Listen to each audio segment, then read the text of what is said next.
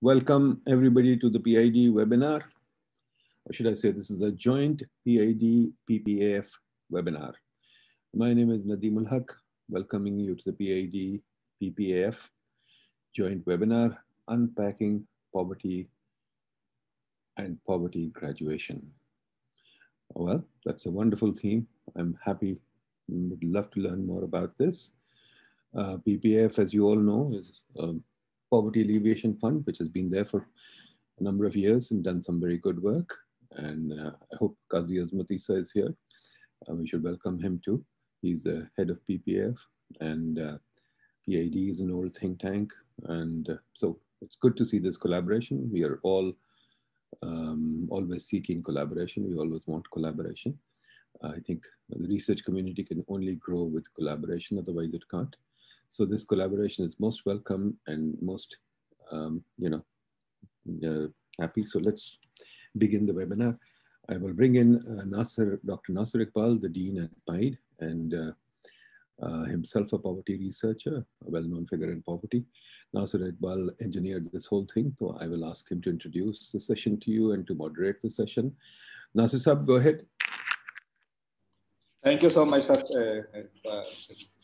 Uh, uh, really this is a very innovative webinar creating based on whatever we have already done and the, the learning from the experience of PPF and, and especially from the international community. So I'll just start with the, the, the, the key notion that our founder father said that we have to create a happy and contented people, a contented society. So yet after seven decades, our planner failed to create a happy society due to these multi-dimensional deprivations ranging from monetary poverty to social poverty and institutional poverty. And if we look into the, the real number, more than 50 million people face income poverty, especially they are, uh, they are very like shock sensitive to due to their livelihood strategies linked with the, the insecure livelihood patterns. Similarly, around 75 million people are facing social poverty in terms of education and health and around 50 million people also face environmental poverty. This brings us to the question for this, the whole discussion that we are hoping today with our expert that how we can break this vicious circle of poverty and create a happy society where everyone can feel that we have enough resources to, to live a decent life.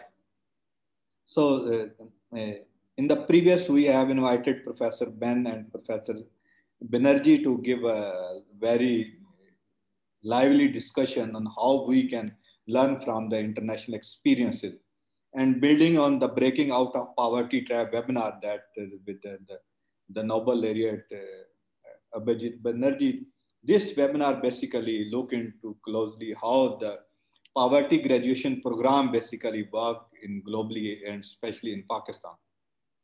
More specifically, the, the webinar aims to unpack what define live poverty and how current poverty graduation model like National Poverty Graduation Program run by the, the PPF and also the, the very famous example of the BRAC model that is uh, also on the same foot.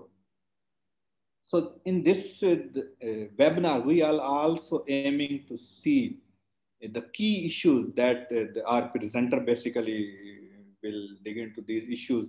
How we can ensure the key challenges, those are attached with the, the uh, graduation model. And to me, there, there are two or three key issues. One is the scalability of these models. If we do experiment at a very small scale and we fail to, to expand it at a very large scale, then what would be the, the efficacy of these models? Then effectiveness and last, the sustainability of the these effort that these graduation model put in, in to, to, to break this vicious circle of poverty.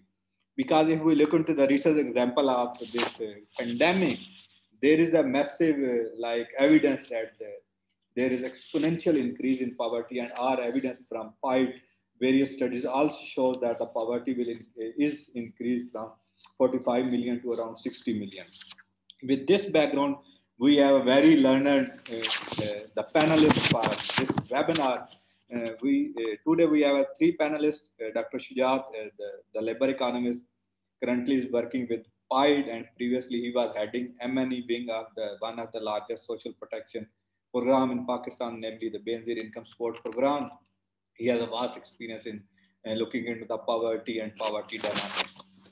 Uh, the other is we we are uh, like uh, we have Professor Imran Rasool with us. He's one of the distinguished professors working at University College London. He's co-director of ESRC Center of, for Microeconomic Analysis of Public Policy at Institute for Fiscal Studies. And he has a vast experience in terms of conducting research, not only uh, globally, but in Pakistan. Currently, he is working with, with P, uh, PPF to, to experiment new models to innovate in this graduation strategy. And the third panelist, we have Ms. Samia Liaquat Khan. Uh, she has worked in the field of human rights and development for the last 20 years with experience in Pakistan and overseas. She has successfully led regional and global development teams and programs which incorporated right-based approach to poverty reduction. So with this, I'll uh, invite Dr. Shuja to give a brief introduction. What are the economic opportunities that we see are available for the poor that we can uh, use different uh, graduation programs to, to, to, reap those the benefits. So over to Dr. Shujat.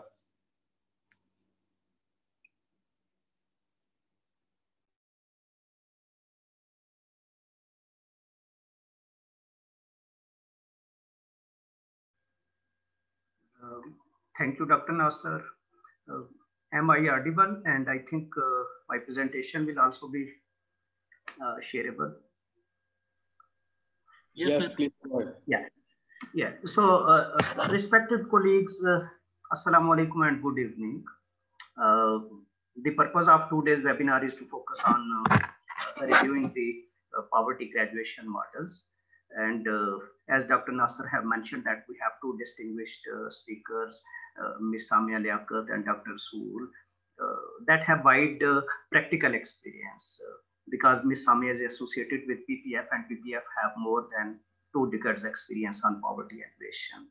So I will attempt uh, uh, to initiate a discussion that uh, where we are standing at the present and what we should do to modify the poverty alleviation programs uh, so that they can bring a real change uh, in the life of poor and marginalized segments. Uh, so, so, these changes should be um, sustainable. Uh, so uh, I will raise certain questions that may help our distinguished speakers to enrich the ideas that how we can modify our poverty alleviation programs. And since I worked at BISP for more than five years, so I will talk on certain issues that right now our social protection programs are facing in terms of sustainability as uh, well as scalability. So firstly, uh, why we required the poverty uh, eradication programs? Uh, because you know that right now, almost all the low income countries, they are replicating uh, poverty eradication programs and there are social protection interventions. So there are four major reasons. That's why we required the poverty, uh, poverty models. Uh, the first is redistributive purpose to uplift the poor and marginalized segments because resources are not uh, even evenly distributed in the uh, low income countries. Uh, so there is poverty and there is inequality. So uh, objective of all these uh, social protection and poverty graduation models is to promote resilience, equity and opportunity among the poor households. Second, the major challenge is that right now in low income countries, including in Pakistan, uh, we lack competitive markets. So these markets have certain distortions, and that's why they are disproportionately affecting the poor and marginalized segments. And second, we lack, we don't have insurance programs. Like in developed countries, uh, they have universal health coverage, they have insurance. So right now we don't have. So that's why uh, these uh, distortions in the markets, they motivate to initiate certain social poverty eradication interventions.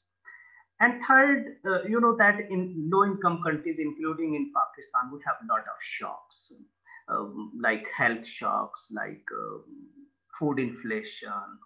Uh, so, so that's why they, uh, basically hamper the poor people's to accumulate their soft as well as physical assets. So aim of these programs is that let's build the asset accumulation. And fourth uh, major uh, uh, promotion is that let's change the behavioral and household bargaining powers. Like in Pakistan, we have quite limited women labor force participation.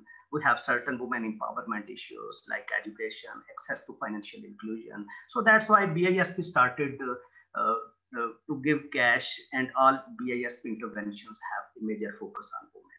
So these are the main four reasons. Uh, but uh, as Dr. Nasir have mentioned that poverty, the measurement of poverty is itself uh, a debatable in Pakistan. We have various forms of poverty. Uh, and our official methodology to measure poverty is consumption based.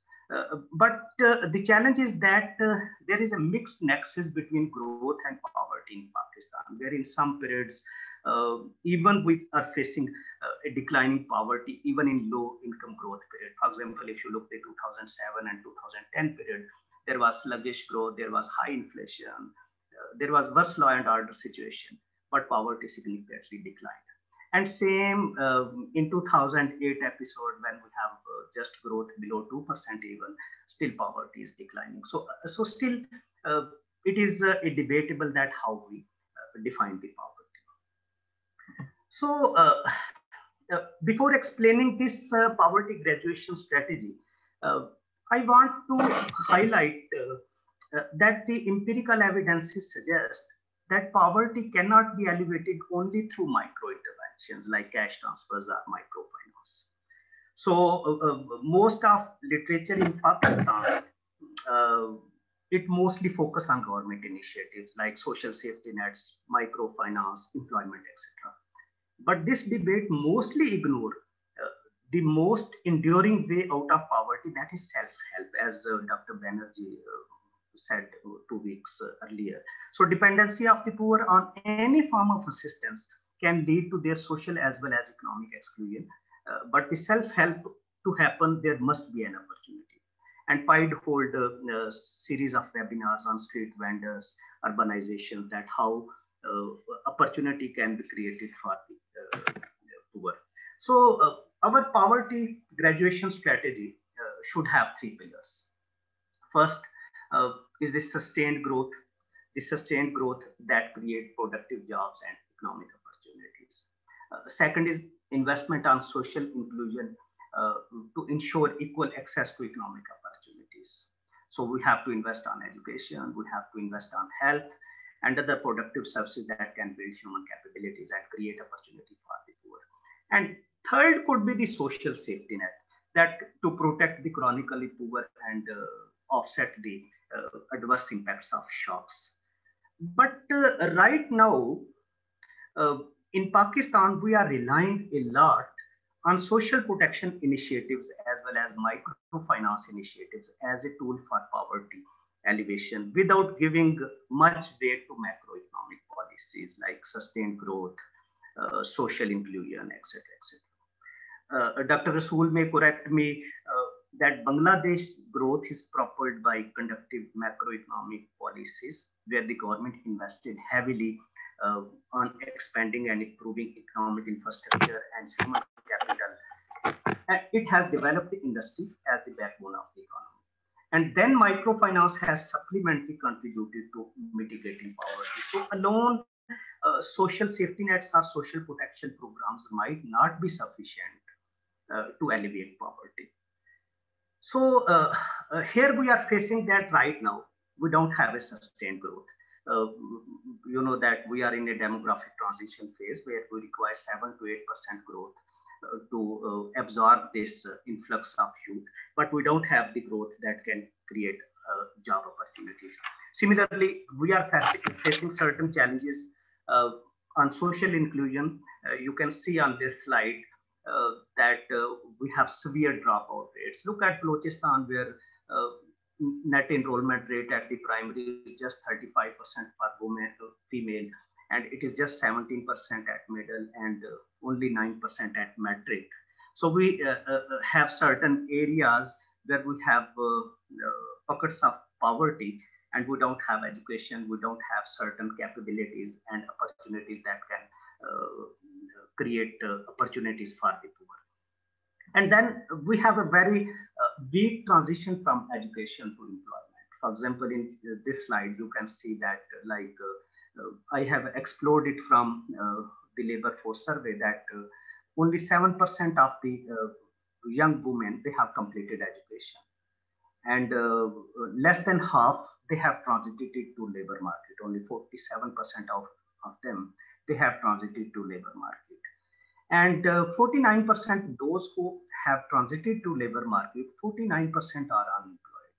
So that's why uh, our education on one side we have a weak quantity of education but on the other side we have a weak quality as well as certain labor market issues where we don't have decent so these are the challenges which we are facing. Now we have the third pillar on which i will focus uh, uh, especially in terms of um, uh, scalability and sustainability. Uh, that before 2000s, we have need-based interventions. And still we are running these need-based interventions like Zakat, like Bait-ul-Mal. Uh, in 90s, uh, we started social action programs, uh, but again, spending on these programs was compromised so formally, we started social protection programs in uh, early 2000, like you can see poverty reduction strategy paper in 2001. And then we have microfinance in, uh, initiative like PPF was emerged in uh, 2001. And then uh, there was a strategy, uh, National Social Protection Strategy that was emerged in 2007, and this was emerged in 2008. And recently, the government has uh, established a well comprehensive Ehsaas strategy that was implemented in 2019. Uh, uh, and similarly, we have certain provincial uh, social protection programs like Punjab have established the Punjab Social Protection Authority. Um, similarly, KP government is uh, implementing Insaf Card. Uh, and other provinces also have some sort of social protection programs. So, uh, good. so right now we are focusing and we are trying to uh, uh, resolve our education and livelihood challenges through the social protection programs that alone might not be helpful. For example, this is the Ehsaas strategy uh, that is trying that through social protection programs, we will improve human development, we will improve livelihood and jobs, and we will improve governance, etc. So it might not be sufficient.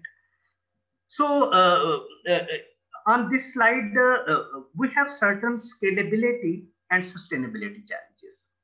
For example, in this slide, you can see that uh, BISP has invested a lot of amount on unconditional cash transfers. So, so there is one stagnation that BISP was merged in 2008, but still we are relying on unconditional cash transfers. We have less innovation. Uh, we have limited capacity to improve programs. So that's why uh, still you can see that uh, after nine, 10 years intervention, still a lot of people, for example, uh, you can see this slide that 88% of the BISP beneficiaries, they were poor in 2011 and 73% uh, of the beneficiaries are still poor in 2009. So it means that uh, uh, despite of spending lot of amount, more than 700 billion rupees, uh, uh, this has not succeeded to reduce poverty. So, so it is, it could be one challenge that uh, we lack a, a, a, certain group of uh, uh, programs uh, mixed with unconditional as well as conditional cash transfers that can graduate the people out of poverty on sustainable basis. Second, we also have, so right now, uh, I think that uh, financing on social protection is not a big issue in Pakistan.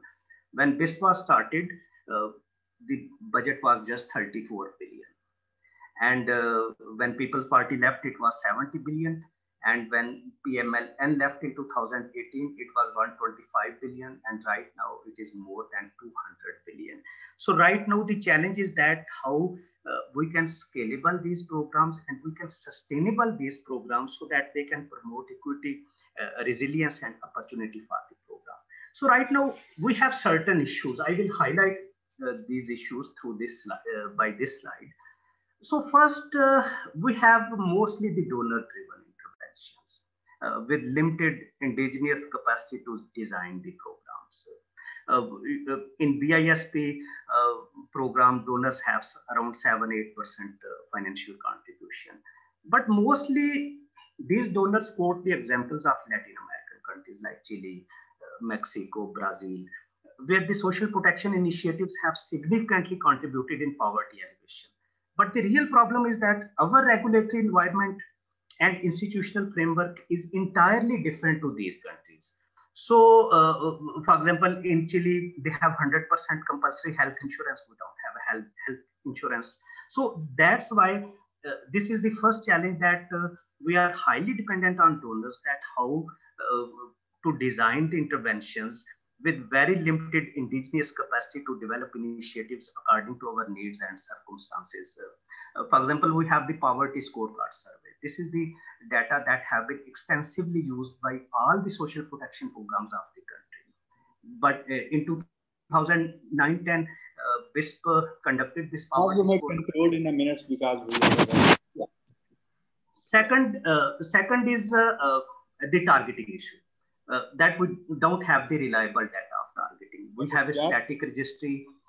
this registry was updated in 2010-11 and still most of the programs are using this data.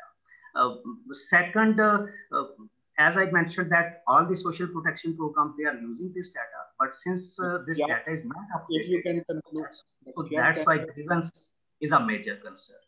Uh, another issue in the targeting is that which group for which sort of interventions. As I have mentioned earlier that we might require a combination of UCT and CCT interventions. But right now, uh, we are offering micro uh, finance programs even to those people who are ultra poor mm. and also those who are quasi poor having score of 40, etc. etc. Another issue is the coordination. Uh, like yeah. for, can you conclude in a minute because we have a short time for Imran Rasool. Yeah, yeah, I will conclude in a minute. So, a minute. so another issue is the coordination. For example, I can give you one example uh, that right now our social protection authorities they are working uh, in a silo mode uh, without contacting with public uh, sector implementing our arms. For example, we have the uh, Sehat Sahulat program. Right now, it is a good health insurance program. I can give you the example that, uh, for example, in AJK, 100% of the household they have health insurance. But this health insurance card cannot be used in government hospitals so, so uh, it means that uh, the government hospitals will be useless because 100% population we are encouraging that they will go in private hospitals. Uh, similarly, uh, we have uh, most of our interventions where the federal government is making interventions, we don't have the involvement of provincial governments. So that is another coordination issue. And the major challenge is that uh, for the service delivery, we have, we have absence of local government that can be used uh, to uh, implement these social protection programs in Pakistan. So uh, I would request our honorable speakers that let's have a discussion that whether too much relying on social protection initiatives for poverty alleviation without limited weight to the macroeconomic policies would be fruitful or not. And second, whether our ongoing poverty alleviation initiatives, particularly the social protection programs, um, how we can make them uh, helpful that they can promote equity, resilience, and opportunity. Thank you. And thank you, Dr. Shujat, for giving a very elaborate uh, presentation on the, the graduation framework and the, uh, the policies at the BISP. Now, without any further delay, I will request Professor Imran Rasool to, to explain how we can basically break this uh, poverty circle and try to create a happy and contented society. Thank you, Professor Imran, for giving us a valuable time. Thank you, thank you, Nasir. Thank you uh, for, to the organisers for inviting me here today. It's, it's, a pleasure to be able to present um, some results of a, of a, collaboration I've been engaged in uh, with, with PPF uh, for almost the best part of a, of a decade now. So let me just talk through um, some of the findings that we have comparing alternative models um, to promote the graduation of the ultra poor out, out of poverty. And I'll touch upon some of the issues that Shujat also discussed um, on his slides when, when going through this. So the design of social protection programs we know is sort of a key issue for, for many countries, not just in Pakistan, but many of the other contexts that Shujat also described. And um, Abhijit Banerjee and, and, and, sort of co-authors of, of myself have contributed to suggest that um, providing asset transfers to the ultra poor may lead to very high returns to those individuals. And in a long-standing evaluation we've been conducting in, in Bangladesh, we're finding that the provision of asset transfers to the ultra poor in those households allowed them to permanently move out of poverty as measured seven to 10 years uh, later. In fact, in some of our latest work in Bangladesh, we've gone back and started to interview the children of uh, the original recipients to try to measure some of the intergenerational impacts of asset transfers and document improved outcomes for children in terms of education and their subsequent labor market choices. But in this um, evaluation that we've been conducting it with PPF, we wanted to compare and contrast those types of large scale asset transfer programs uh, to the provision of large scale unconditional cash transfer programs. And so there's a growing evidence base to suggest that just the provision of cash may be as effective as trying to provide transfers in kind. And so, what we want to do in this study, and I'll present the evidence on this now, is to compare household responses to the receipt of those in kind asset transfers versus what happens to the ultra poor households if, if, if they obtain equivalent valued but unconditional cash transfers uh, um, from, from a policy intervention. And ultimately, what I want to try to answer in, in this set of slides is are both policies equally likely to enable the graduation of the ultra poor out of, out of poverty?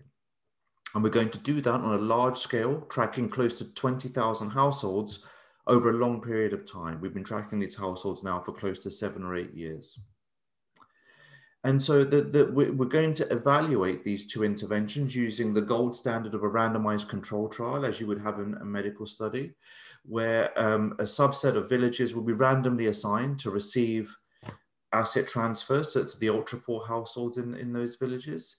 A random subset of villages will have the ultra poor there be provided with an equivalent valued unconditional cash transfer. And then the pure comparison between these two groups and a control group of households who, who received neither intervention would allow us to scientifically say precisely what was the causal impact of those interventions on a whole range of economic outcomes for these households. And so in our first set of villages where we provide the in-kind transfers, that's essentially providing a bundle of assets and skills to ultra poor households. Those assets are typically in the form of livestock, although we do also offer them some small scale retail um, assets as well if, if they choose. And for each type of asset that's provided, there's a complementary set of skills training that's also provided to that household. So it's a combination of both physical and, and human capital that's being provided in those in-kind asset transfers. The value of those transfers is close to 62,000 rupees as measured in 2014 prices. So this is not a small transfer. You can think of this as a big push transfer because as Nasir and, and indicated, when households are, are, are, in poverty, typically they've been there for a long time. And so small adjustments are unlikely to cause them to permanently move away from poverty. We need to start considering these types of big push interventions. So that's our first set of interventions, those kinds of large scale asset and skills transfers to households. In our second group of villages that look identical um, before we intervene, we offer ultra poor households the equivalent valued unconditional cash transfers. So we provide them with essentially 62,000 rupees to say, spend as you wish. You can use this for consumption, you can use this for investment, you can save it, you can choose to do with it or whatever you wish. And obviously, as Shujat was suggesting, economic theory would suggest that if we, if we have perfect markets and neoclassical decision making, then it's always going to be preferable to provide an unconditional cash transfer over an in-kind transfer because the unconditional cash transfer can always do at least as well as the in-kind transfer. And the extent to which these two interventions lead to different outcomes for the ultra poor tells us something about how well markets are functioning in these contexts, and also tells us the nature of decision making that might mean households respond differently than if, if they're aided in cash versus if they're aided in kind. And that's that's sort of the intellectual basis for why we want to compare these two types of uh, social protection program. It helps us to learn about the economic environment these households uh, reside in to help us design future policies more effectively. But from a policy perspective, these are very two reasonable and realistic forms of social protection program that are being discussed and implemented around the world.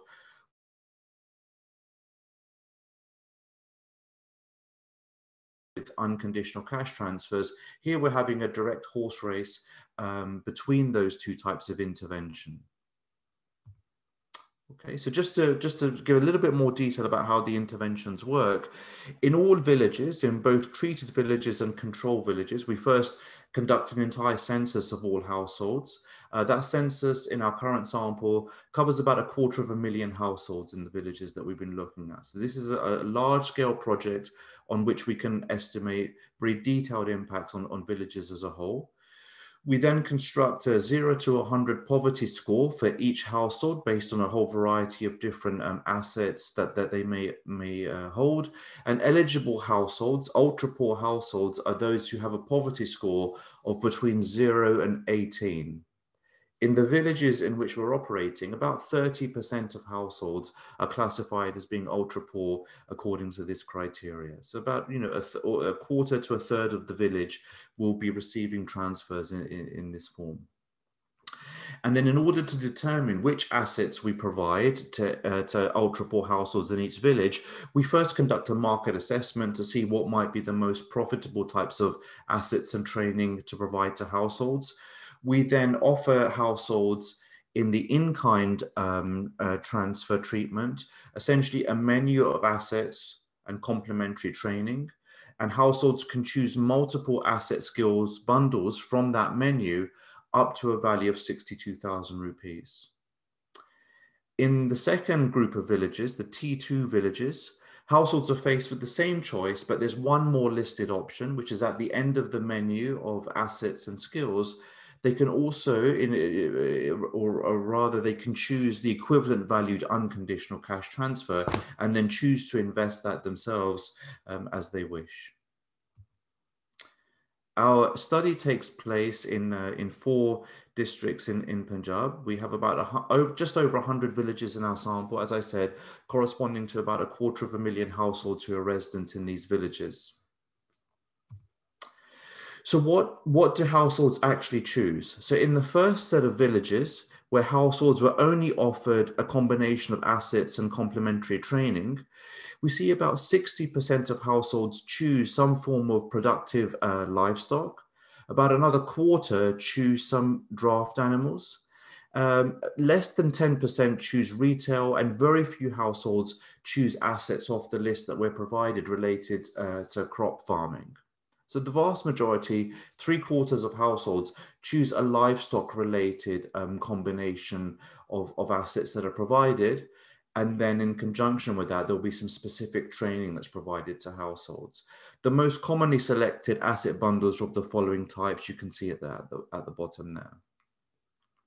In our second group of villages, where households are given the same choice of assets, but in addition, are given the potential to choose the same value of cash, over 96% of households prefer cash over assets. Okay, and they choose that initially. We then go back to them two weeks later and say, now that you've discussed this, are you willing to change your mind? And very few households uh, change their mind.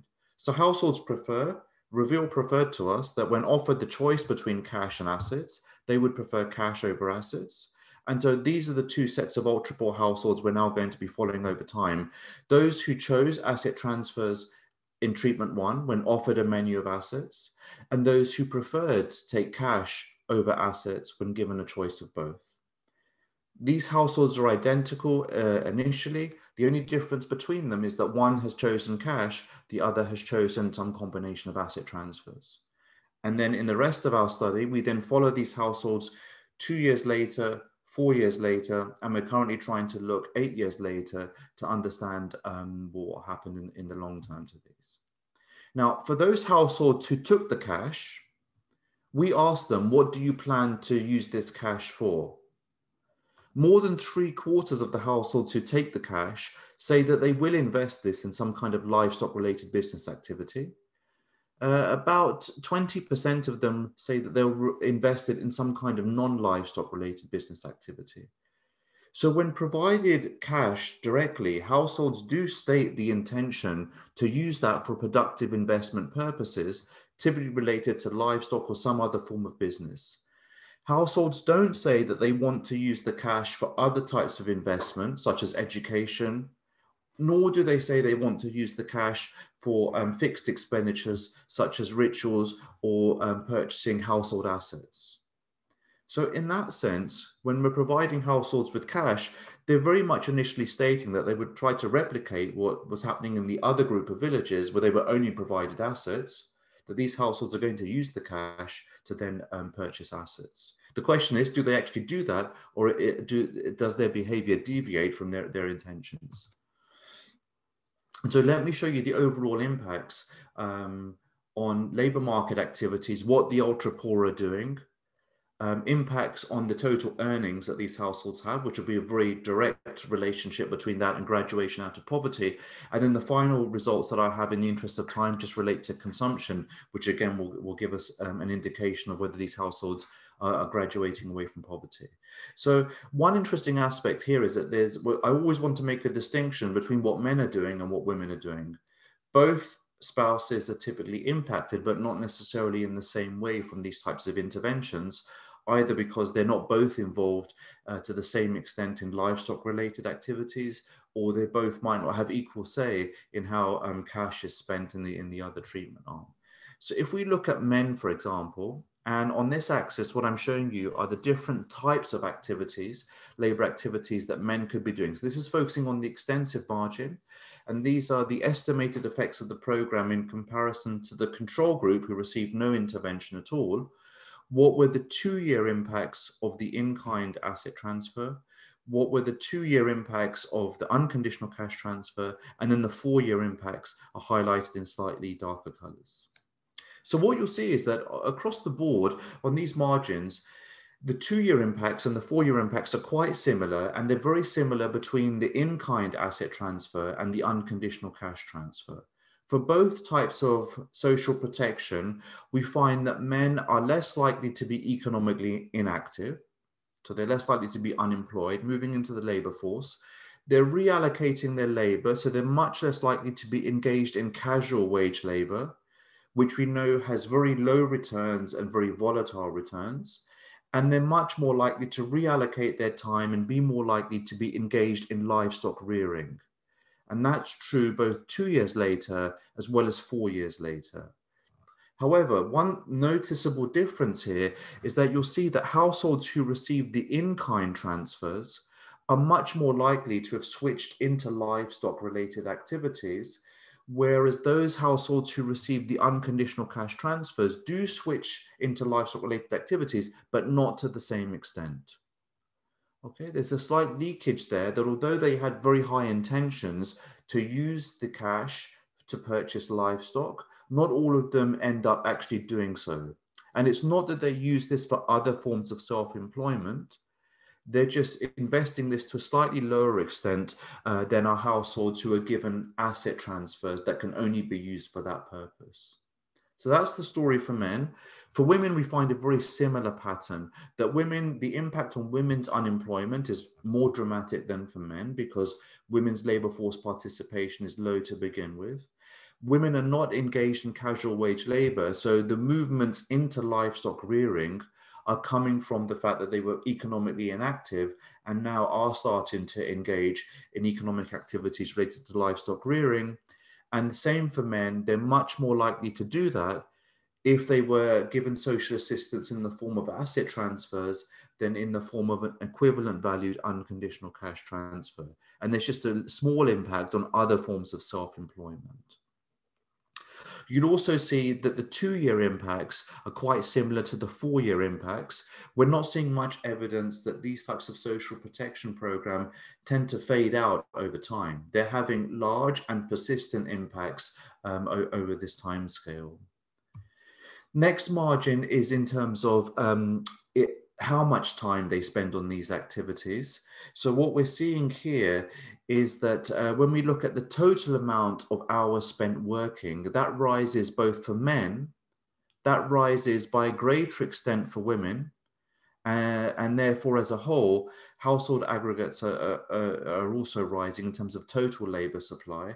And again, we're seeing in, increases in labor supply being greater if households are given in-kind transfers rather than if they're given cash transfers, especially for men. So if we're thinking of attachment to the labor market and working as being an effective tool to get out of poverty, that's been nudged further forward with the in-kind transfers, especially for men, than the cash transfers. And that, that matches what I showed you in the previous slide, that in-kind asset transfers are much more likely to cause households to reallocate their time towards these productive livestock rearing activities than are cash transfers. What impact does this have on total earnings then? Well, if we look at earnings coming from employment, these are just the percentage changes from in-kind transfers after two years, in-kind transfers after four years, and then from the cash transfers after two and four years. You can see this, there's a slight increase in earnings um, which is slightly higher from the in-kind transfers than the asset uh, than the than the cash transfers. But both of these impacts are being sustained four years out. The magnitude of the change is between 10 and 15% increases in monthly earnings from employment as a result of these types of social protection program being provided. That rapidly leads to a large share of these households moving out of the poverty uh, uh, threshold and therefore graduating out of um, being ultra poor. Okay, the last result I'm going to show you is just rather than looking at employment earnings, I'm going to see how much of this translates into increased consumption. You might think these households are residing in ultra as ultra poor to begin with, so they have very low levels of, of consumption. We're seeing increases in consumption, both in terms of food consumption and non-food consumption. The majority of consumption for these households is related to food consumption. And so you're seeing increases in food consumption of around about 8% after four years of the, of the program. So that has direct impacts on nutrition, well-being and health of individuals in those households. But one thing I did want to emphasize is that the percentage increase in consumption is 8%. The percentage increase in earnings is closer to 12 or 15%. And that tells us, and we show this in, in the study, that some of the additional earnings are used for consumption, but some of them are also used for savings and investment to help these households build a greater set of assets or to invest in household related assets as well. And so what the programs are doing over, over a long period of time is allowing households to graduate out of poverty, both by allowing them to work to a greater extent, to accumulate earnings, to raise consumption, but also to use some of their earnings to reinvest into new forms of investment and to use as additional savings that may well turn out to be highly relevant when we're able to go back into the field and see how these households manage to cope with the current pandemic. Uh, and that may be quite different depending on whether they were initially given assets many years ago or whether they were given um, unconditional cash transfers. So let me just conclude there. And that's a brief overview of, of our findings comparing these two types of social protection program and how they impact graduation out of uh, uh, ultra poverty. Thank you so much, Imran, for giving very nice presentation. I was just hoping that you will also present some finding on psychological well-being because last year I heard your presentation uh, when you are presenting your work at PPF uh, conference. You said you are looking for that part of thing also. So it's nice to learn. So so I'll uh, just uh, give floor to Samia Liaquat with the two uh, the, the, key points. That one, while interviewing Qazi Isa, CEO PPF, he said the real poverty is not the monetary poverty or the, the asset-based poverty. The real poverty is uh, the, the sense of exclusion that people have. So they gave the example of Balochistan. So the, the rightly said they, they are basically feel they are excluded.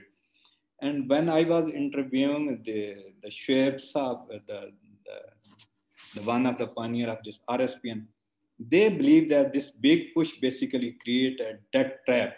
So we have to be very uh, uh, like the rational when we are say that we have to give a big push to these poor poor people. With these two thoughts, I, invite Samia to, to present what actually PPF has contributed to alleviate poverty, poverty and create a happy society for us. Thank you. Over to Samia. Uh, thank you so much, Dr. Nasir. Uh, thank you to PIDE for uh, hosting this event uh, and for, for agreeing to be a joint host to this event. And to uh, Dr. Imran for always, uh, you know, having, having had such a sort of long-term relationship with us now in terms of the very important research that you do around social protection and graduation. Uh, and this is the research that has really helped PPF in develop its whole graduation strategy and approach. I will just share my screen uh, if I can.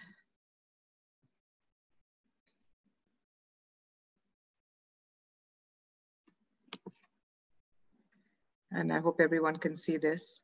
So um, I just want to talk a bit about PPF and uh, our uh, um, engagement in the whole graduation uh, approach, uh, which started off with uh, a pilot that we, uh, we did with um, uh, which was part of the global study on graduation. So it was using the BRAC livelihoods approach, which was targeting the ultra poor, where asset transfers were being provided to households. And uh, with CGAP and uh, the International Fund for Agriculture Development, who supported us through financing this uh, participation in this pilot, uh, we uh, we engaged, we initiated our uh, sort of first effort uh, in understanding how do households react better uh, when they when they are provided with asset transfers.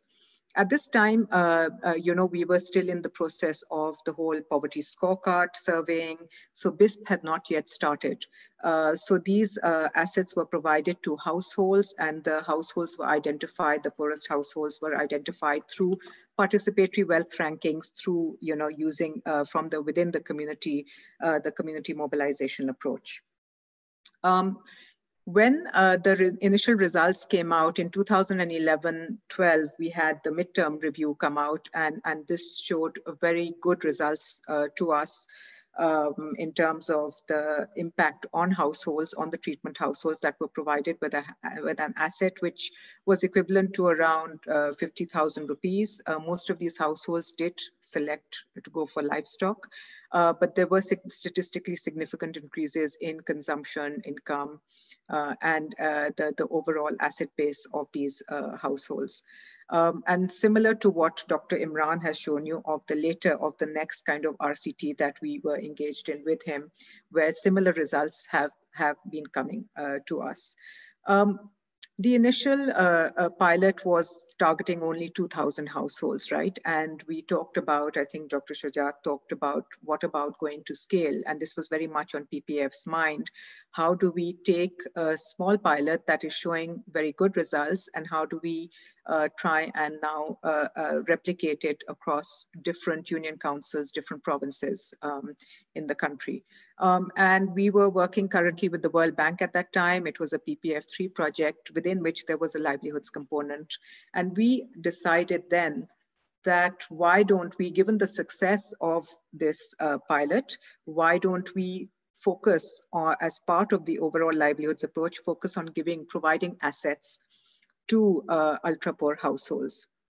During this time, we then did, uh, or we, uh, BISP had already begun its operation. So they had started off uh, in providing uh, unconditional cash transfers to households.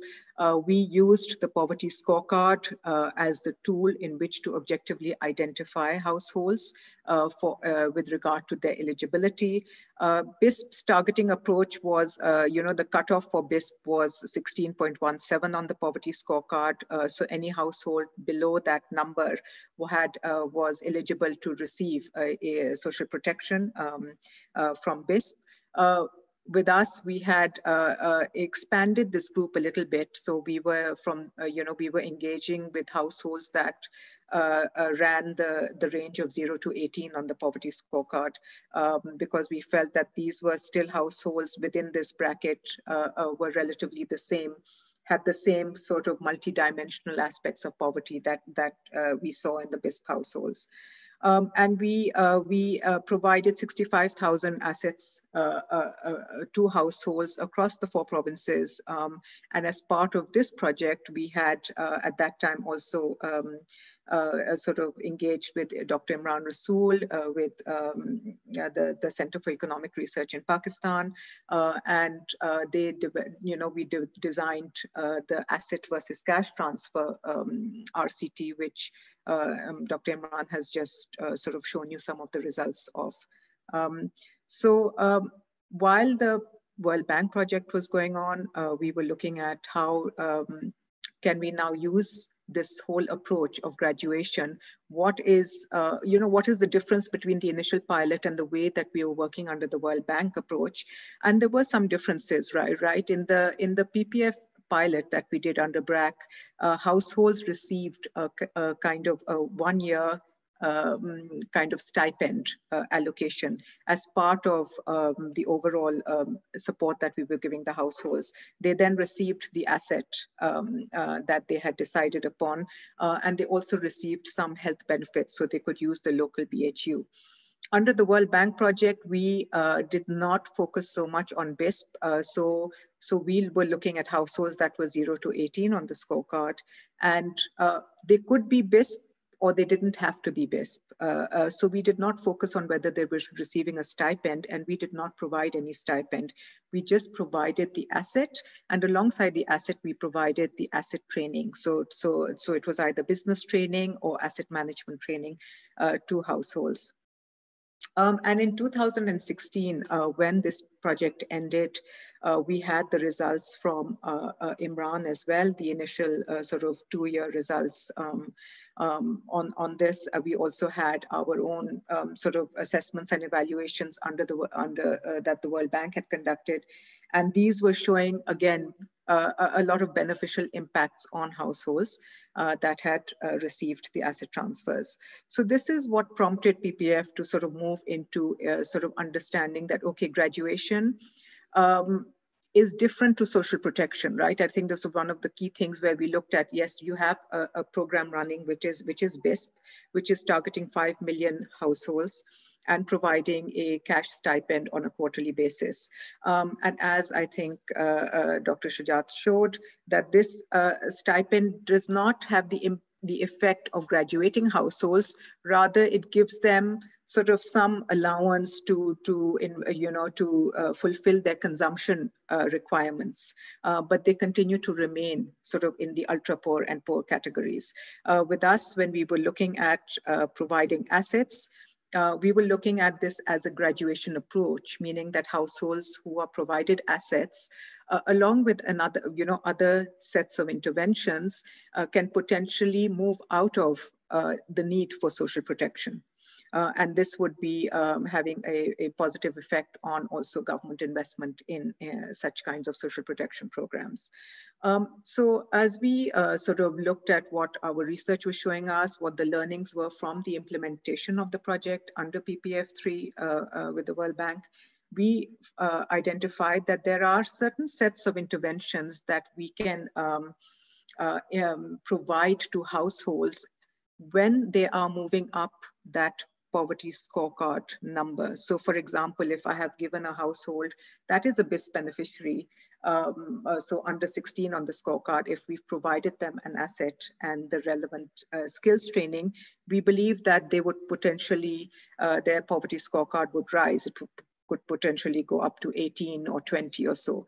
Um, but alongside that, we realized that that's not so much enough for us, right? If we want to sustainably graduate households, we require, we need to understand what are the kinds of demands households might have um, and how do we, how can we meet this demand, as well as what is the kind of ecosystem that we need to create around that household that can enhance uh, their ability to link up with, with mainstream markets and to really become, uh, to, to develop the local economies. Uh, and so for this, we um, had put forward a number of um, supporting um, uh, kinds of um, activities for those households that were provided the assets. Within a community, we also believed, we, we saw that there are households who might not be provided an asset, but who are maybe still within the poor category who could potentially link up with households that we have provided assets to, form common interest groups uh, or production centers, and uh, engage in uh, sort of, you know, uh, uh, sort of be linked up with markets and with specific companies, etc., and can actually support the, the growth of the local economy in that sense. In 2015, the government had also come to us and we had, had uh, requested us to take forward a project that they wanted to do a program around providing interest-free loans to the same uh, uh, ultra-poor households. Um, we designed this interest-free loan scheme for them simply, uh, you know, mainly because PPF, when PPF started off, uh, microfinance was was the major uh, focus, you know, for the first uh, I think 16 years of PPF. Microfinance was a major component of all our work. Uh, we built the microfinance sector. Uh, and then in 2016, we spun off uh, the microfinance arm into a separate uh, for-profit uh, company called the Pakistan Microfinance Investment Company that is continuing to sort of provide, you know, microfinance opportunities at a wholesale level through microfinance institutions and uh, banks down to uh, local individuals. Uh, so when this interest-free loan scheme came up, right, we, we, we kind of understood that there is was a need, there was a demand amongst our households, the ultra-poor households, for access to finance. Uh, and most of these ultra poor households, when you look at, um, uh, you know, uh, the, their ability to, to uh, get financing, it was very limited and it was very much linked to uh, the areas they were working, where they were as aharis or as, you know, as tenant farmers, where they would get loans from um, their um, landlords or they would get loans from the local sort of um, middlemen who are providing, you know, by the provision of inputs into agri um, uh, supplies. Um, and this obviously was, you know, high levels of interest were being charged around this. Uh, so one of the things that we looked at was how do we actually support poor households? They've got an asset. They're, as uh, Dr. Imran is saying, they're moving out of the daily wage labor into self-employment, uh, potential entrepreneurship. They may and probably will have a need for uh, financing. Uh, we don't believe that we should put the burden of regular microfinance on them yet because we're not sure, uh, you know, with the interest charged by regular microfinance, how, how that would impact on their ability to repay and to really sustainably graduate. So there is a, a need to support such, such households with the provision of um, interest-free loans, as well as with trying to help them to access uh, uh, formal financial services such as insurance products, uh, you know, so for example, livestock insurance, um, uh, or crop insurance, uh, as well as for looking at um, how they can uh, utilize those loans through providing um, relevant um, financial literacy trainings, et cetera, et cetera. So PPF slowly had developed was developing this graduation approach. And, and um, we, we felt that there were um, areas where once, you know, a household has gone through two or three uh, potential um, uh, uh, sort of interventions for interest-free loans where they might have reached a point where they require uh, bigger loan sizes that they can then approach regular microfinance and that they, they are then sustainably have graduated uh, for regular microfinance. Um, so this was the kind of base on which we started working with um, uh, uh, donors as well as government to kind of uh, look at how we can take forward our program uh, uh, Uh, uh, the asset transfers and make it uh, a, long-term sustainable approach uh, for um, ultra-poor households. Into 2017, IFAD came back to us and together with them, we designed the National Poverty Graduation Program. and this was very much uh, built on the learnings of the previous uh, sort of, you know, eight to nine years of having delivered asset transfers and of the research around that. Uh, and I'm just going to, before I move on to uh, uh, the rest of the slide, I'm just going to take you to the National Poverty Graduation Program.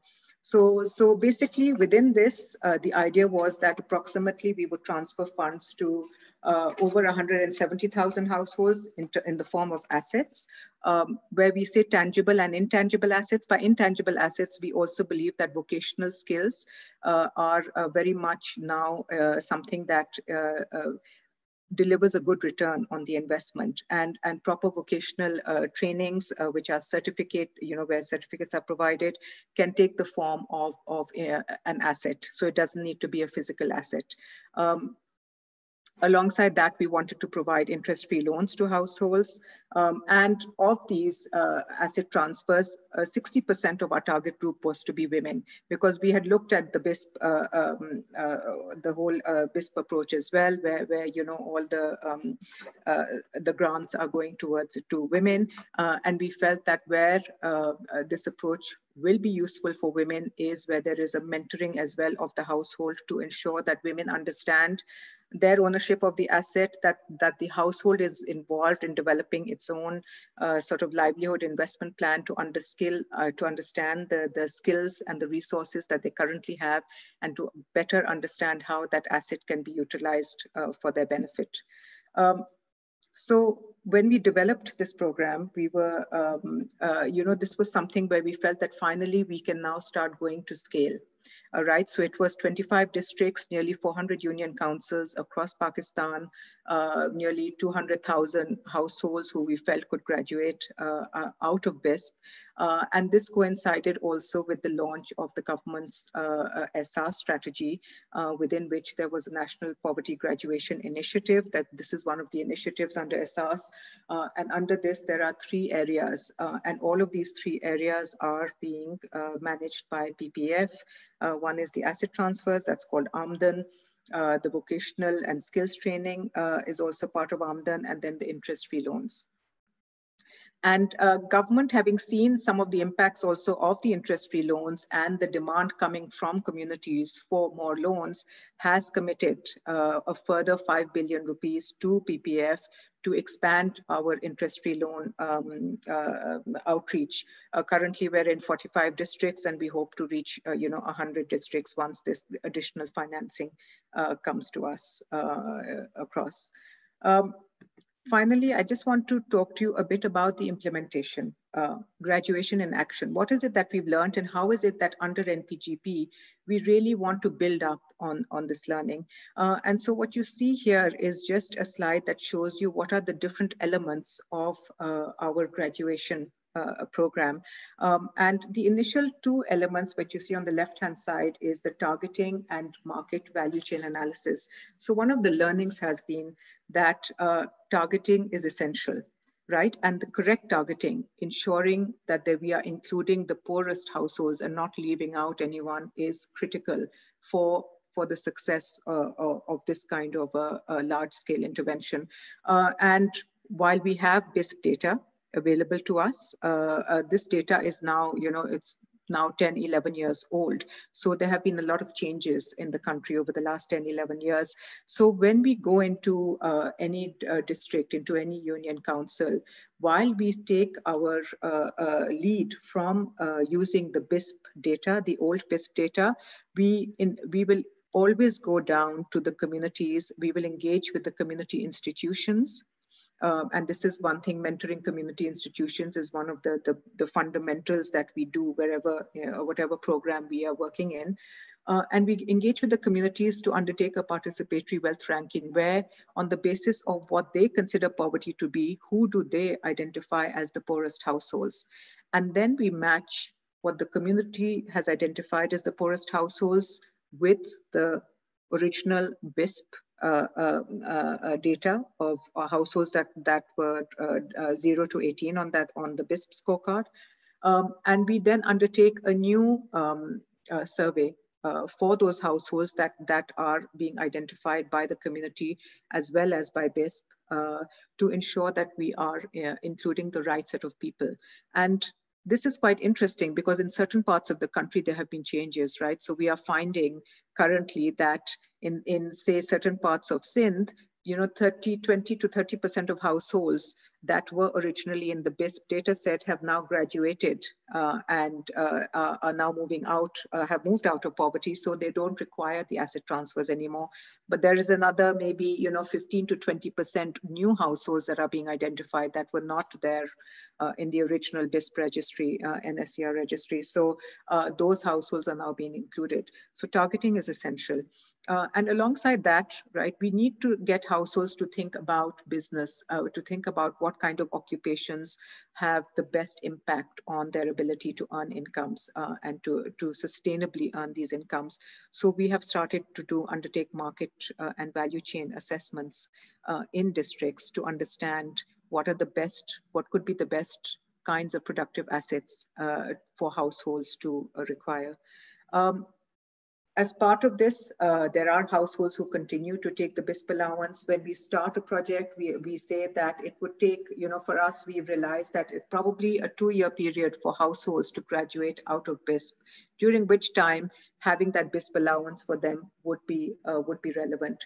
Uh, you know, after after we do the targeting and the market value chain analysis uh, you know that takes the first you know three to six months. We then start the asset transfers. Um, and alongside the asset transfers we are also providing the relevant training and skills development. Um, and one of the things we've also learned uh, right is um, how do we really um, support households to, to move out of poverty, right? So one thing is for their incomes to increase by 20% or by 30%, and we set targets for ourselves. Another thing is to really understand, okay, what is the current situation we're in? Um, and we have just done a baseline of our NPGP households, and we have seen that on average, their monthly earning is 12,000 rupees, um, right? Uh, we also see that in Pakistan, the current poverty line uh, based on the cost of basic needs approach is around 24,000 rupees. Uh, and the national minimum wage has been defined as 17,500 rupees. So when we look at these numbers, we think to ourselves, okay, so for a, for a household that is being provided an asset and is earning approximately 12,000 rupees before they've been provided with an asset, we want them to to be able to move, uh, you know, over two years uh, or over three years uh, to above the poverty line of 24,000 rupees, right? So that would mean a 100% increase in their salary uh, and, and uh, or in their earnings, in, the, in, uh, in their incomes. So if we are saying that okay our assets as they are given to any household uh, gets a 20 to 30 percent increase in income how do we actually keep building this up? And uh, this is something with IFAD that we have been working on as, as well as internally within PPAF as to the fact that we need to develop businesses. We need to develop business models at the community level. And these could be collective business models, but there has to be a, a focus on not just an asset, which could be livestock, but on actually a collection uh, uh, of households coming together and formalizing themselves into businesses uh, to create uh, uh, local markets and to engage in the, the mainstream and the national markets. Um, so I, I will leave it uh, uh, now as, as of this. I think I'm done for now and I'm out of time. Uh, and we can go on to questions. Thank you. Thank you so much. With the one liner, I'll hand over mic to the Vice Chancellor. So uh, over the last two months, I have some experience with NBG beneficiaries. So of course, uh, they, they, they are very much benefited from the, these type of asset transfer and, and the asset transfer to some extent have provides uh, like a cushion to sustain from these type of pandemic. So with this, I'll uh, request Dr. Nadeem to please carry on.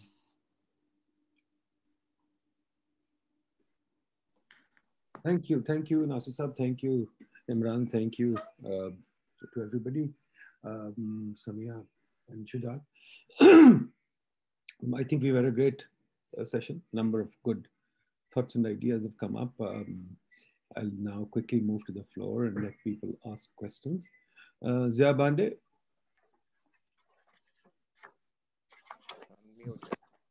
So just to add a one line, Professor Imran left because he has some urgent meeting with okay. Someone.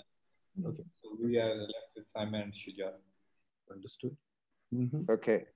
Can I put up a question, Dr. Sam? Please go ahead. Go ahead. Okay. Thank you very much. Uh, yes, most of this discussion, what I feel uh, is focus on rural poverty. When you're talking about these livestock, it's concerned with the rural po poverty. I just need to understand that exactly what is the strategy on the urban poverty side for the PPAF. And second thing, which I was very intrigued, which you did talk about uh, in the very last, Dr. Samia, she did talk about these community linkages, these community institutions, the collective. Now, how that collective is going to work, I mean, to say what sort of a research, because that's what we have seen also when we are talking about uh, uh, these microfinance institutions. Obviously, they have a high cost of funds in Pakistan, on average, they are charging 38 to 40% per annum, the interest rate. So that's quite high, how they are going to sustain themselves. And uh, when you are talking about these development linkages, and you did talk about that the government has set aside 5 billion rupees to be distributed into 3.8 million new borrowers. Now, up till now, you have basically what your figures you are telling us 282,000 uh, loans have been extended, the interest free loans. Now, 3.8 million means that you are going to increase it by over 1,000 times. That's a very ambitious target. And when if I divide the 5 billion rupees onto 3.8 million, it comes around 1315 rupees. So I just want to understand that what are the additional sources you guys are looking into it, where you can generate that much interest-free loans, which are sustainable also. Because in Pakistan, if you look at the total microfinance portfolio, it's about 12 to 13% which are interest-free. The majority is, uh, is interest-based. So I just need to understand these dynamics that how you guys have planned to work out and a word on the urban poverty. Thank you. Thank you. Samia, can you please just note these questions? We can uh, take a few minutes. I've noted them. Karam sir. Yes, hello, अस्सलाम वालेकुम जी जी मैंने ये पूछना था कि जो ये आप लोगों का जो रिलीफ वर्क जो है ठीक है इसमें पॉलिटिकल जो लाइन जो है उसको कैसे सेपरेट कर सकती हैं क्योंकि जो पॉलिटिकल जो मार्जिन है उसको सेपरेट करना इट्स वेरी डिफ़िकल्ट ठीक है? और जो बेनजीर इनकम सपोर्ट प्रोग्राम जो है ठीक है वो फॉर्म्स वगैरह तो डिस्ट्रीब्यूट हो जाते हैं लेकिन उनकी जो रीइंबर्समेंट्स जो हैं they are totally political on political grounds ठीक है? Same goes to other areas as well और for like one other like important thing I want to add थोड़ी सी इन्फॉर्मेशन आप लोगों को देना चाहूँगा कि 2010 I was working as um, the president of social welfare wing of PTI Rawalpindi. Okay. At that time, we were only a few members of PTI. Okay. And at that time, I, I tried, we tried our best to distribute this, these um, basically this support program forms, but we couldn't get the um, reimbursements. So how would you like separate this political line? Okay. Hello. Thank you that's all. That's all I would say.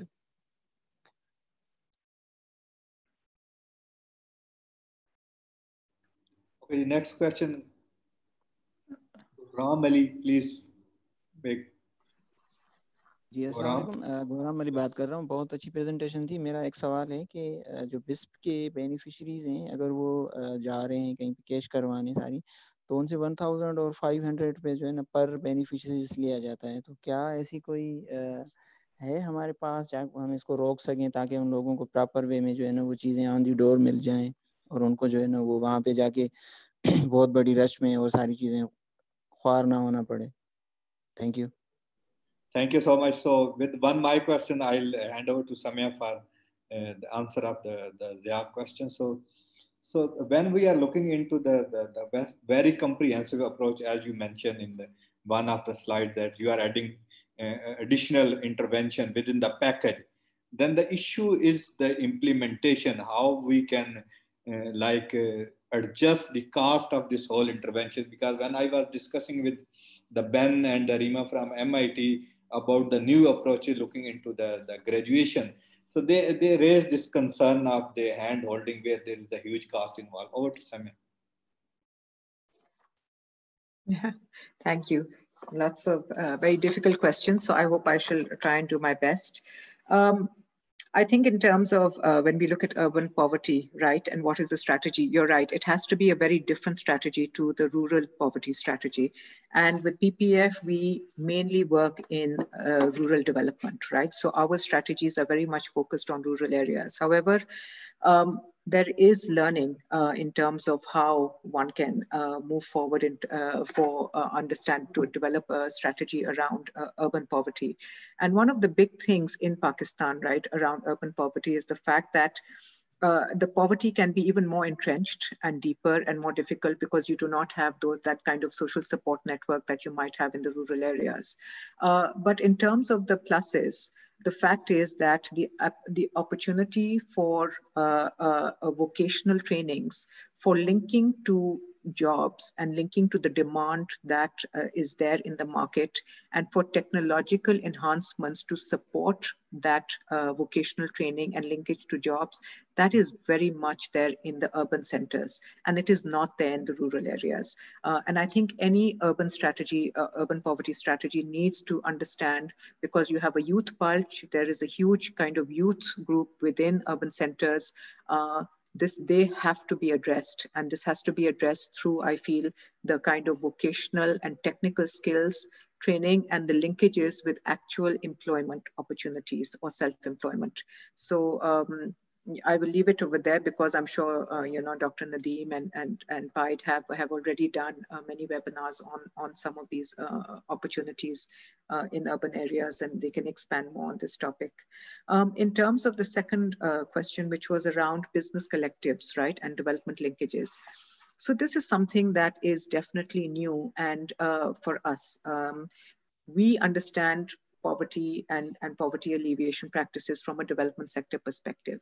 But things need to change. And I think this is really, there is going to be, there has to be a paradigm shift in development. The old ways don't really work much longer. So we need to engage in understanding what is the kind of entrepreneurial business side of this uh, kind of uh, collective that needs to be supported to grow because it is only through the creation of local markets that you are going to be able to have the right kind of opportunities for uh, jobs for entrepreneurship uh, and for sustainably supporting people to, to live, to earn an income and to move out of poverty. Uh, when we talk about collectives here, we look at currently, I'll, I'll, give you an example, right? We are in working in Zhob in Balochistan, and we have we are working with a lot of uh, uh, community villagers uh, who are uh, uh, working, uh, who are growing um, horticulture products like uh, garlic and onions. Now we have done some market research where we realize there is a big demand uh, uh, in their in the closer urban centers to them for um, you know the dried garlic and the dried onions. So so there is an opportunity to take a product to add value to it, uh, to support them through a system of grants and loans, uh, to support these households to come together to form a business collective, uh, to get the right machinery, to be trained on uh, um, uh, doing the drying of the of the garlic and the onions, as well as to support them around branding and packaging, and then link them up to the market so that they can actually develop this business proposition. We are doing a lot of work also with certain of our communities around dairy, right? So the provision of livestock is very much in most asset transfer programs. You find that in the in the rural areas, people require, you know, prefer livestock. And so if you have in a community, if you have uh, you know, 50 cows or 30 cows or whatever, uh, the, uh, the, uh, the, the setting up of a dairy cooperative that can, you know, be provided with chillers uh, that can be supported to look at what are the byproducts of dairy, you know, ghee, for example, or butter or uh, other things which, which can be sold, which can be packaged and sold in the local markets as well as in the, in the local urban centers. These are areas that we are really trying to support through providing this kind of value chain um, development development, uh, looking at, you know, doing market assessments, uh, providing um, support, business development support to these households, so professional business development support and uh, formalizing their businesses, so getting them registered as businesses uh, and, and uh, guiding and mentoring them in all the aspects of business that will lead to the end product. So um, again, this is something relatively new for PPAF that we're doing, but we realize that uh, for us, it's not enough to just uh, now provide an asset and say, okay, we've provided an asset to a household, let's move on. There is a whole, you know, you know, you need socio-economic development. And that means empowerment as well. Empowerment of individuals empowerment of the family empowerment of women within those communities. Uh, and given the the you know you've seen the the education statistics uh, uh, that dr shujat has shown where you're still you know way behind. In balochistan only 9% of girls are, are, are moving into high school education or whatever. So, so there is, you know, there is a need for a, a, a socio-economic empowerment uh, at the household level and at the community level. And, and this does very much tie into the last question that was asked to me about the issue of implementation and cost, cost effectiveness. And yes, it is more cost effective to hand someone um, 5,000 rupees or 100,000 rupees than it is to have a system in place where you are doing this hand holding mentoring and you are consistently engaging with a household over a period of two years to help them sustainably graduate. Um, but this is a cost uh, a, question in terms of um, you know that government maybe needs to really mull over to understand that if we really want to uh, provide um, uh, you know, if we want to address multidimensional poverty and not just income poverty, uh, there is a, a need uh, to use this kind of mentoring approach. Um, and and that is that is my personal perspective and of course everyone can have their own perspectives and when we talk about cost effectiveness right the idea is that you are moving out of social protection. So instead of having that five, those five million households on your roster, you know, continuously year after year after year, and that may be growing to seven million households or 10 million households, the graduation approach means that you invest more you know in the uh, at the beginning uh, with the idea that after year uh, uh one or two years you do not have that household remaining on the registry um, and then in the last thing in terms of politicization, so I don't work with BISP. So in terms of, I, and I've heard, yes, that, you know, that there are middlemen who will take 500 rupees or whatever, but I think Dr. Shujat could potentially, uh, you know, respond on that. In terms of politicization, right, one of the things where we, where you have strong targeting and where you have very objective methodology and means of verification of targeting, you can you can uh, uh, uh, move away from politicization right? You can actually you can actually prevent politicization because you have criteria. You have objectively verifiable criteria against which households are identified and that is what allows them to get the asset. Thank you very much. Uh, i will enhance uh, uh, the point that has that has been made by samia khan regarding last two questions on uh, uh, political margins as well as bribes. I think good thing is that every successive government is owning BISP. As I have mentioned earlier that every government have allocated more budget. It was started with 18 billion and right now its budget is uh, more than 207 billion. And second thing is that uh, uh, this data uh, that is called poverty scorecard or national socio-economic registry, this data has been used by every provincial government, irrespective of what is the political affiliation. You know that this data was collected in 2010-11, uh, but Punjab Social Protection Authority used this data. Uh, even KP Insaf uh, card that used the data in last political regime and even your Sehat Sahulat program, etc., etc. All these programs are using this data. So good thing is that uh, we have a single registry and uh, that has been widely accepted by all the uh, provincial governments, whatever their affiliations. Uh, yes, uh, we have certain targeting issues. Like, for example, as I have mentioned earlier, that this is a static registry. it was updated in 2010-11 you know that right now social uh, Sehat program is expanding in the country recently. Prime Minister have launched in AJK and uh, Experta, but still we are using this old 2010-11 data for uh, targeting in 2021. And second, uh, uh, I think uh, we have not learned a lot to improve this registry. Uh, started to update this registry in 2016, uh, and still BISP is struggling to update this registry. So um, this is more than five years that still uh, we are unable to update this registry. But previously in 2010-11, this registry was updated just in one year. second, regarding bribes, uh, this is an operational question. You know that uh, uh, since I worked with BISP, uh, BISP have made a uh, lot of effort in improving in payment disbursement system. Uh, in 2008-9, it was Pakistan Post Office. Yes, it was giving payment at the doorsteps, but it was entirely the manual system.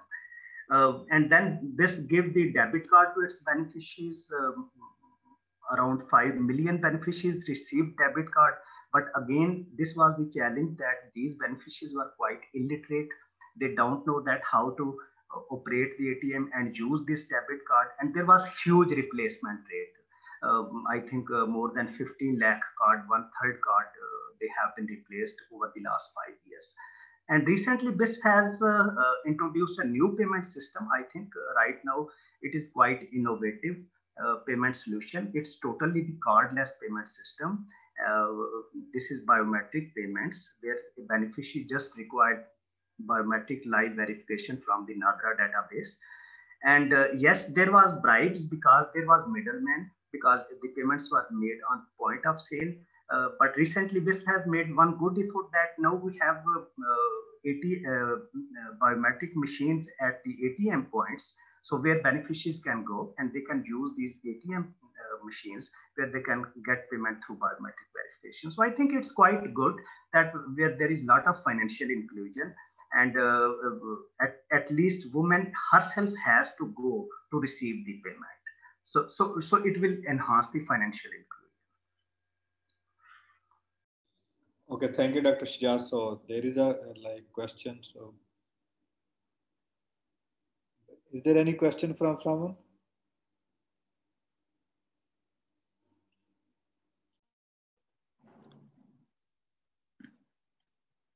Uh, Assalamualaikum ji, if I may be allowed to make a few comments. Uh, my name is Mehwish Mahmood. I'm a University of Cambridge graduate and my final year thesis uh, had a component of microfinance in it and I was given a chance to study uh, both the Grameen Bank model as well as the Kashf Foundation model. So my question is that uh, merely assuming that a credit mechanism with a high, let's say in, in, our, in this case, there's no repayment rate, but it does have an outreach element to it, uh, which has an empowering effect on women borrowers. And uh, my research shows that this could be a naive approach for those seeking a larger effective sustainable strategy to poverty alleviation. So have we looked into that? Because uh, women empowerment through uh, microfinance, um, through uh, as far as my research shows, um, is not really sort of uh, working out for a lot of different countries. So is there like a cross-country analysis that we are going to keep in mind before we actually start implementing it nationwide. Thank you very much. If you allow, let me respond on this. Um, go ahead, go ahead. Uh, thank you. Uh, yeah, yes, you're very right, uh, Mehwish. I think even in Pakistan, we see the results of microfinance. It's not the silver bullet that it initially, you know, was, was uh, uh sort of lauded to be. Um, and it has to be used wisely, and I think it has to be used keeping in mind what are the um, experiences not only within Pakistan but in but elsewhere. One of the things that when PPAF started its microfinance program, we were very clear that the but microfinance was not for the ultra poor, right?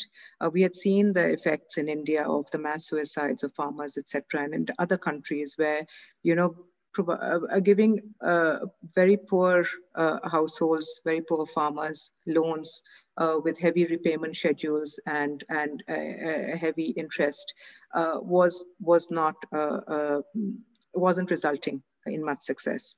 And, and yes, even when it comes directly to women, so providing loans to women, we've done some research with Ghazala Mansuri of the World Bank on loans and training and, and the impact on women and men uh, uh, and the uptake of loans uh, by women and men. Uh, this was around 2010, 11. We found that actually women were not really benefiting from the loans. Um, right? Even though they were the ones taking out the loans. Uh, and so we had to move away from looking at numbers to actually looking at what what can we do uh, uh, when it comes to supporting uh, uh women's empowerment? Um, how does this, this work? Is just providing a loan is not enough in itself, right? You require other activities, you require other mentoring for households that actually engages women, looks at the kind of work women are doing. So what is the, the labor force participation? What is the kind of activity that they would invest the money in uh, before we sort of, you know, engage with them in, in giving them a loan. Uh, and this has helped us uh, in terms of uh, trying to ensure that uh, that that there is empowerment, that that women's decision making within the household when it comes to the loan um, is not taken out of their hands, but that they are trying to participate and that they do participate in that decision making. Um, overall, the idea of interest-free loans, so there is a 95% repayment rate, and there is a question that I missed out in terms of the loan size. The average loan size is around 30,000 rupees, and this is a revolving fund, right? So when we talk about 5 billion rupees or the initial 3.1 billion rupee investment, uh, that means that this money goes in every year, it is being revolved once or twice. So, uh, so you know, right now we have, in terms of actual sort of, if we look at the number of lo loans since 2015, I think we have reached up to say uh, around 10 billion rupees in terms of when you look at all of the different uh, revolving loans. So I don't want to belabor the fact, but um, yes, there is definitely room for improvement, uh, and I, I, agree with your points. Thank you. Okay. Anybody else, Ji? Challenge. One very quick question ये बताइए Simon बीबी कि अपना वो Samiya sorry कि अपना P P sorry P पीआरएसपी has been doing microfinance and community development for I guess over 30 years now. Um, has any evaluation of that been done? Because you're moving into roughly the same territory, aren't you? Uh, when you say uh, PRSP, uh, you mean the Punjab Rural Support Program, or um... there are five of them? The, the national. Yes, all of the. So we we finance them, right? We finance. We've been financing a lot of their work. So so their microfinance had, uh, I think, they were supported. They started out with getting uh, uh, money from PPF, uh, through our various uh, you know projects and programs.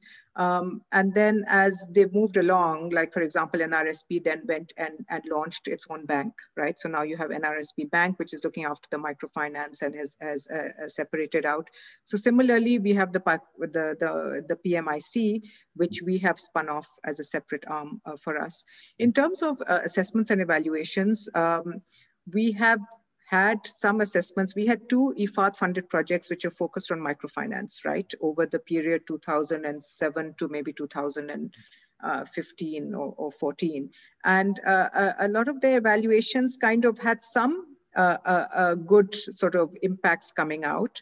But we, uh, you know, there was some increase in incomes of households, but there wasn't anything which really um, stood out. Uh, and there were certain, I would say, maybe, you know, it wasn't the bullet, the silver bullet that they were expecting it to be in terms of getting households out of poverty.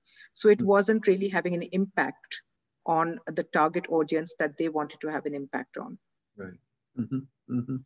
So uh, there are right now a number of agencies, I mean, at least four or five that I know of. I mean, um, NRSP, PRSP, and then yourself and uh, um, BISP there's so many agencies working on poverty, and the World Bank has this mission for ending poverty. Um, I mean, uh, does anybody calculate the overhead of this work? I mean, is there a huge amount of overhead for the delivery? And at the same time, um, you mentioned Ghazala Mansuri, and you're absolutely right. But it's very interesting that when poverty decreased, the World Bank raised the line. So in a sense, it seems that the poverty is a is a moving target or is it a fixed target? I mean, in a sense. Well, I mean, you know, if you look at the World Bank, so initially it was the whole, you know, their definition of poverty is very much income based, right? And and our definition with PPF, when we look at poverty, we look at it, you know, maybe we take on board the Amartya Sen kind of uh, mm-hmm. uh, uh, version of poverty, where it is about having the op- opportunity, right? It's the lack of opportunity and the lack of options, and that comes from a number of things. It comes from no edu- proper education system, you know, access to poor access to healthcare, and all of those those things that that uh, uh, deepen uh, the the sort of the uh, the, the, the, sort of the poverty of a household of a household. So yes, I, I, I think the World Bank changed from income poverty to cost of basic needs approach, right? So they used they initially it was caloric consumption that they looked at what is the level of poverty, how do you define it based on caloric consumption, and they moved over to cost of basic needs assessment, and that uh, increased your, your poverty levels a bit. But on the whole, the World Bank does keep saying that poverty has been reducing significantly over the years. And so if you look at the last 20, 30 years, you see that there is this huge dip in poverty and they've I mean, in the last few years, it's like it had gone down to 10%, I think, and then now it's gone back up to maybe 20% or 21%. Um, you know, we are all doing a lot on poverty, and I'll be very honest. PPF is an apex organization. We fund a lot of the RSPs and other uh, uh, uh, civil society organizations working on on uh, um, poverty alleviation. Uh, but we still have only, uh, you know, we have there are say six and a half thousand union councils in Pakistan.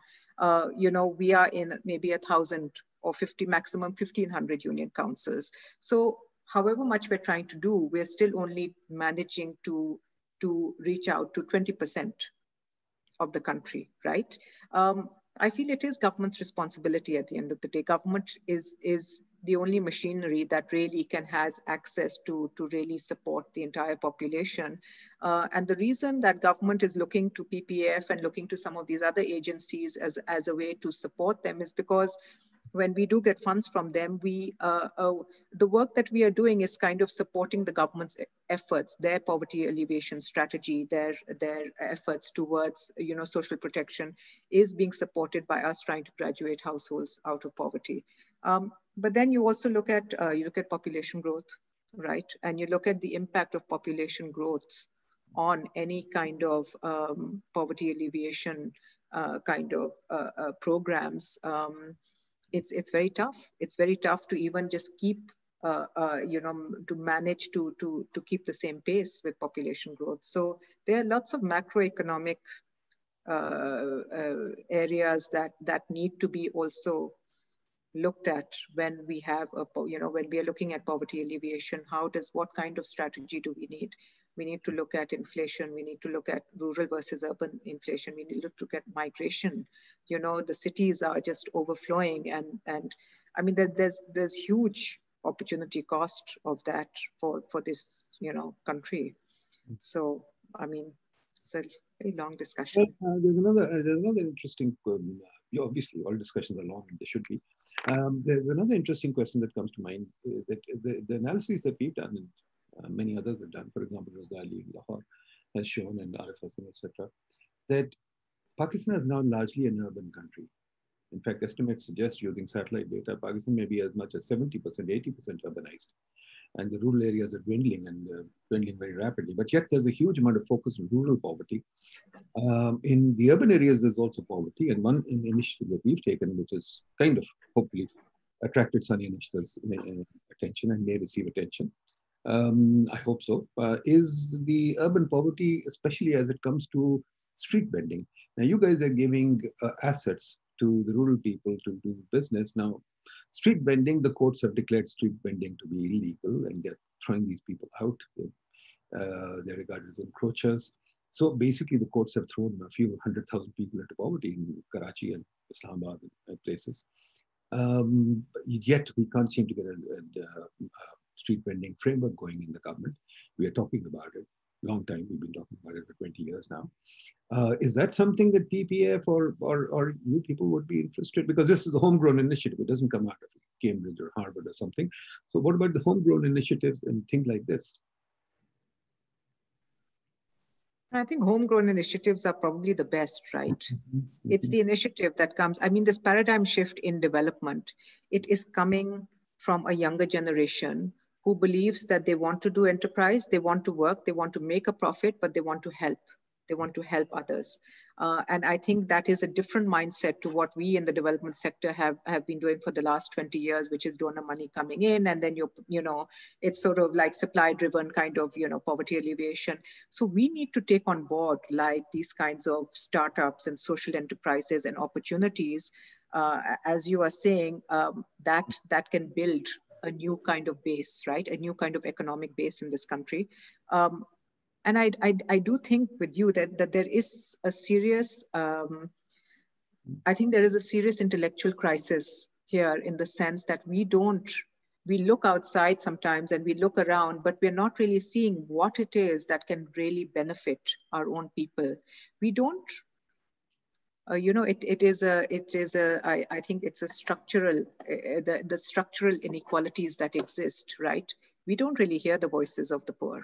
We don't want to we're too busy looking up and and i think that that shift needs to happen so I, I mean, I, I, I think Qazi Saab is here. Maybe he can, he can tell you. But I would love to work on urban poverty.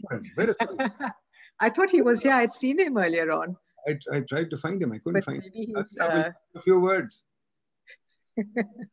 Disappeared, huh? Okay. Yeah, I think he might have left. We will uh, live that interview very soon. So okay. there was very insightful discussion with Qazi Saab. Probably we will also include our upcoming magazine, uh, all those like insights from Qazi Saab. And probably we will be in a position to arrange a, a specific webinar on Qazi Saab's thought in the near future. Zarur, Zarur, absolutely. Well, Ji, thank you very much. Samia, thank you. Thank you, Shadad Sab. Thank you, Imran, in absence, in absentia. I know academics are very busy. Um, well, uh, Samia, we are also the poor of Pakistan, unheard, the PIDE and the universities of Pakistan. Uh, nobody listens to them. Nobody cares about what they do. But yet, uh, we've been talking about street vending and opportunities for the poor for a long time. But that's the way the landscape is structured. The donors have the money, we don't have the money to pay our salaries. But nevertheless, we'll continue to try and learn, continue to try and think. And the whole idea of this webinar is really to give students an, uh, an opportunity to learn and think. So I'm very glad that you came and you educated our students on what's happening. And I'm sure that many of them will make a research topic out of this. Maybe they'll do a thesis, maybe they'll do something. So if they come to you data or help, please help them do it because our, our, uh, our poverty work really is to try and get our students thinking and involved in some work and reduce our reliance on, on, on the donors, which they have created this huge paraphernalia of policy making that I don't know how we can challenge, but we'll try and do that. So this is the David and Goliath approach. David is losing badly at the moment, but doesn't matter. We'll get it right. Thank you very much, folks. Great pleasure. We'll do something again soon whole point is to collaborate and learn together and we will continue to do that. Thank you. Thank you very much. All the best. Bye-bye.